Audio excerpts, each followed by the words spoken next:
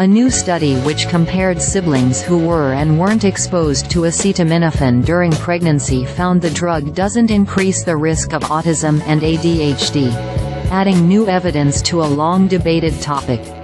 This study's findings may be welcome news for birthing people who use acetaminophen as a pain or fever management option, since there are few safe alternatives for relief available.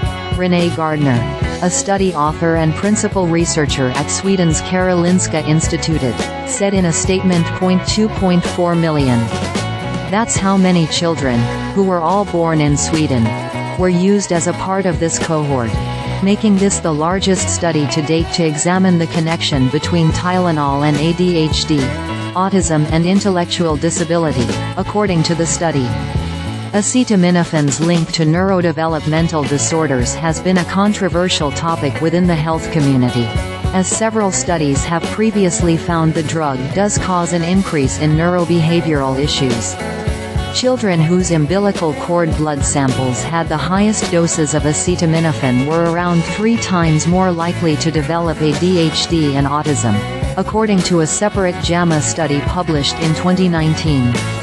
An international group of researchers recommended in 2021 that pregnant individuals limit their exposure by using the lowest effective dose for the shortest amount of time, and called for more warnings around taking acetaminophen during pregnancy, according to research published in Nature Reviews Endocrinology.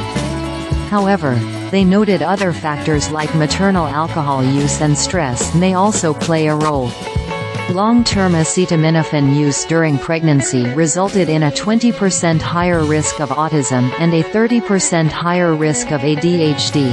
A 2018 meta-analysis published in the American Journal of Endocrinology found. A separate 2021 study also used a sibling model to examine this link and it found both the exposed and unexposed children of mothers who took acetaminophen during pregnancy had an increased risk of developing ADHD. The researchers concluded these results may be partly due to unobserved familial factors. The Food and Drug Administration said in 2015 evidence was too limited to make any recommendations against using over-the-counter medications like acetaminophen during pregnancy. A class action lawsuit was brought against the makers of Tylenol and similar generic versions of the drug partially due to the recommendations from the 2021 Nature paper. However, a federal judge ruled in December 2023 the research cited in the lawsuit cannot be used as evidence since at least one of experts the plaintiffs used, cherry-picked and misrepresented study results and refused to acknowledge the role of genetics in the etiology of either autism spectrum disorder, or ADHD. In September 2023, the FDA declined to comment on the lawsuit, though it conducted a new review of more recent studies earlier that year and said they were limited and inconsistent.